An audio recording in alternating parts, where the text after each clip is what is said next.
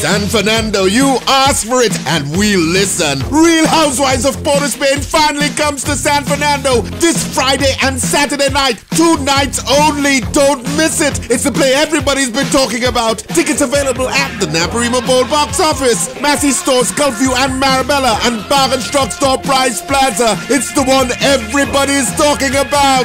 Don't miss it, South. Intended for mature audiences only.